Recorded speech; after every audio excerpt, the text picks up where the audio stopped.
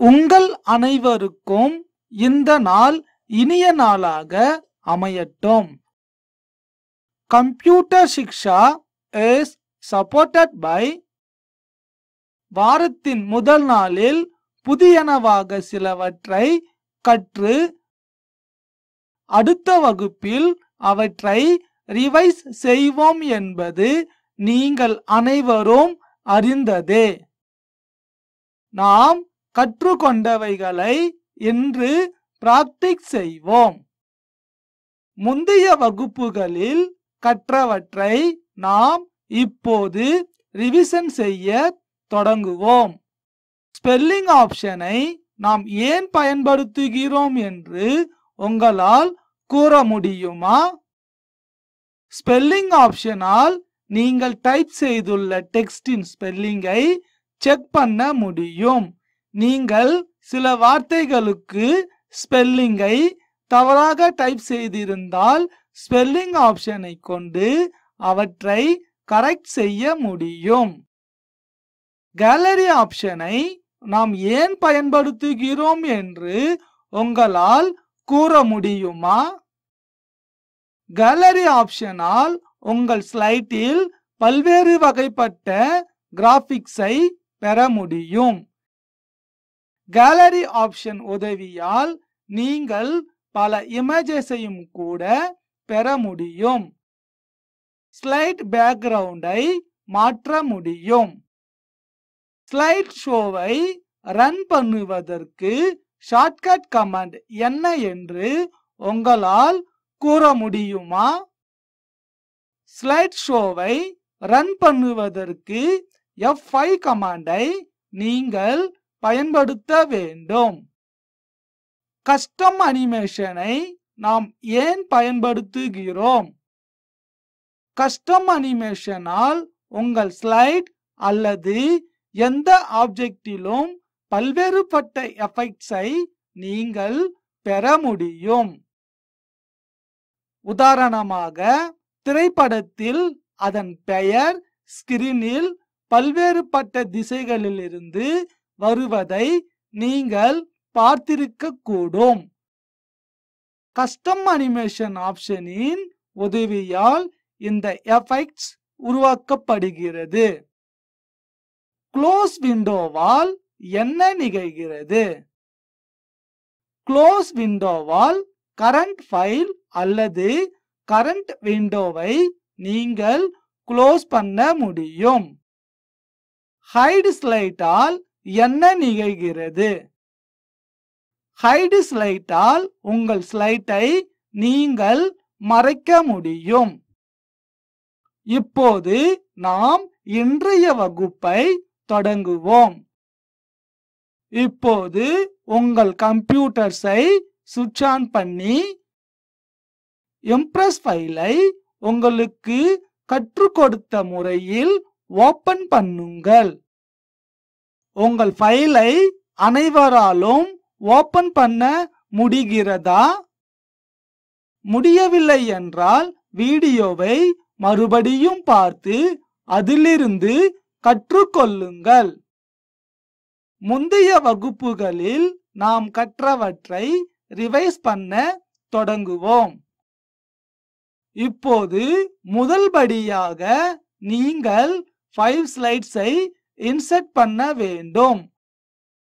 ஒவ்வொரு ஸ்லைட்டிலும் நீங்கள் பல்வேறு வகையான வேலைகளை செய்வீர்கள். முதல் ஸ்லைட்டில் உங்களுக்கு காட்டப்படும் ஒரு பேராகிராஃபை டைப் செய்யுங்கள். நீங்கள் விரும்பினால் ஸ்லைட்டின் டிசைனை கூட மாற்ற முடியும். உங்களுக்கு ஏதேனும் சிரமம் ஏற்பட்டால் வீடியோவை பார்த்து அதிலிருந்து கற்றுக்கொள்ளுங்கள். இந்த வீடியோவின் மூலம் நாம் ஒரு ஸ்லைட்டின் டிசைனை எவ்வாறு மாற்றுவது என்பதை கற்றுக்கொள்ளலாம். முதலில் ஸ்லைட் லேஅவுட்டில் உள்ள மாஸ்டர் பேஜ் என்ற ஆப்ஷனில் கிளிக் செய்தால் நமக்கு பல்வேறான ஸ்லைட் லேஅவுட்ஸ்கள் தெரியும். அதில் நம் தேவைக்கு ஏற்றதை போன்று ஏதாவது ஒரு ஸ்லைட்டை செலக்ட் செய்தால் இப்போது ஸ்லைட் லேஅவுட்டின் டிசைன் ஆனது மாறியிருப்பதை நாம் பார்க்கலாம். அடுத்த ஸ்லைட்டில் உங்களுக்கு விருப்பமான ஒரு பிக்சரை புகுத்துங்கள். உங்களுக்கு ஏதேனும் சிரமம் ஏற்பட்டால் வீடியோவை பார்த்து அதிலிருந்து கற்றுக்கொள்ளுங்கள். இந்த வீடியோவின் மூலம் நாம் ஒரு பிக்சரை எவ்வாறு இன்சர்ட் செய்வது என்பதை பிராக்டிக் செய்வோம். முதலில் நாம் ஸ்லைட் பேனில் ஒரு நியூ ஸ்லைட்டை உருவாக்குவோம். பிறகு ஸ்லைட் லேஅவுட்டில் உள்ள ப்ராப்பர்ட்டிஸ் என்ற ஆப்ஷனில் கிளிக் செய்து பிறகு பிளாங்க் ஸ்லைட்டை கிளிக் செய்யவும். பிறகு மாஸ்டர் பேஜ் என்ற ஆப்ஷனில் கிளிக் செய்து பிறகு டிஃபால்ட் ஸ்லைட் என்ற ஆப்ஷனில் ரைட் கிளிக் செய்து பிறகு அப்ளை டு செலக்டட் ஸ்லைட் என்ற ஆப்ஷனில் கிளிக் செய்யவும். கிளிக் செய்தவுடன் நமக்கு ஒரு பிளாங்க் ஸ்லைட் ஆனது தெரியும். மறுபடியும் மெனு பாரில் உள்ள இன்செர்ட் மெனு என்ற ஆப்ஷனில் கிளிக் செய்து பிறகு பிக்சர் என்ற ஆப்ஷனில் கிளிக் செய்து பிறகு ஃப்ரம் ஃபைல் என்ற ஆப்ஷனில் கிளிக் செய்தால் ஒரு பாக்ஸ் ஓப்பன் ஆகும். அதில் பிக்சர் என்ற ஃபோல்டரில் கிளிக் செய்து சாம்பிள் பிக்சர்ஸ் என்ற ஃபோல்டரில் மறுபடியும் டபுள் கிளிக் செய்யவும். பிறகு இதில் நம் தேவைக்கு ஏற்றதை போன்று ஏதாவது ஒன்றை செலக்ட் செய்து ஓப்பன் என்ற ஆப்ஷனில் கிளிக் செய்தால் நாம் செலக்ட் செய்த பிக்சர் ஆனது இன்சர்ட் ஆகிவிடும். அடுத்த ஸ்லைட்டில் உங்கள் நண்பரை பற்றி டைப் செய்யுங்கள். உங்களுக்கு ஏதேனும் சிரமம் ஏற்பட்டால் வீடியோவை பார்த்து அதிலிருந்து கற்றுக்கொள்ளுங்கள். இந்த வீடியோவின் மூலம் நாம் ஒரு புதிய ஸ்லைட்டை உருவாக்கி அதில் உங்களை பற்றி டைப் செய்யவும். முதலில் ஸ்லைட் பேனில் நாம் ஒரு நியூ ஸ்லைட்டை உருவாக்கி பிறகு ஸ்லைட் லேஅவுட்டில் ப்ராப்பர்ட்டிஸ் என்ற ஆப்ஷனில் கிளிக் செய்து பிறகு டைட்டில் ஸ்லைட்டை செலக்ட் செய்யவும். செலக்ட் செய்த பிறகு டைட்டில் பாக்ஸில் type five lines about your friends என்று டைப் செய்யவும்.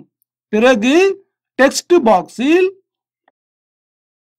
நம் தேவைக்கு ஏற்றதை போன்று அல்லது உங்கள் ஃப்ரெண்ட்ஸை பற்றி டைப் செய்யவும். அதன் பிறகு அடுத்த ஸ்லைட்டில் நீங்கள் விரும்பும் ஏதாவது இமேஜை வரைந்து அதை பற்றி ஒரு லைனை டைப் செய்யுங்கள். கடைசி ஸ்லைட்டை காலியாக விட்டுவிடுங்கள். கொடுக்கப்பட்டுள்ள லைனை டைப் செய்து ஸ்பெல்லிங் ஆப்ஷனை பயன்படுத்தி அதனை கரெக்ட் பண்ணுங்கள். உங்களுக்கு ஏதேனும் சிரமம் ஏற்பட்டால் வீடியோவை பார்த்து அதிலிருந்து கற்றுக்கொள்ளுங்கள். இந்த வீடியோவின் மூலம் நாம் ஸ்பெல்லிங் செக் ஆப்ஷனை எவ்வாறு பயன்படுத்துவது என்பதை பிராக்டிஸ் செய்வோம். முதலில் நாம் டெக்ஸ்ட் பாக்ஸில் கிளிக் செய்துவிட்டு பிறகு மெனு பாரில் உள்ள டூல்ஸ் மெனு என்ற ஆப்ஷனில் கிளிக் செய்து பிறகு ஸ்பெல் செக் என்ற ஆப்ஷனில் கிளிக் செய்தால் நமக்கு ஒரு பாக்ஸ் ஓபன் ஆகும். அதில் ஹாப்பி என்ற வேர்டானது தவறானவை. இதில் சரியான வார்த்தையை அதாவது ஹச்ஏ பிபி ஒய் என்ற வார்த்தையை செலக்ட் செய்து பிறகு சேஞ்ச் என்ற ஆப்ஷனில் கிளிக் செய்தால் நமது ஸ்லைட்டில் சரியான வார்த்தையானது அப்ளை ஆகும். பிறகு மறுபடியும் ஆப்பிள் என்ற வார்த்தையானது தவறானவை. நாம் ஏ பிபிஎல்இ என்ற வார்த்தையானது சரியானவை. இதனை செலக்ட் செய்து நாம் சேஞ்ச் என்ற ஆப்ஷனில் கிளிக் செய்தால் சரியான வார்த்தையானது ஸ்லைட்டில் அப்ளை ஆகும். ஸ்கூல் என்பவை S C H O L என்பது தவறானவை.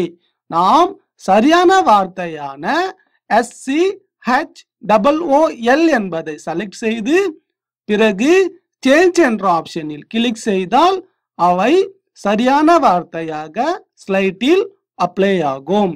மறுபடியும் கம்ப்யூட்டர் என்பது தவறானவை.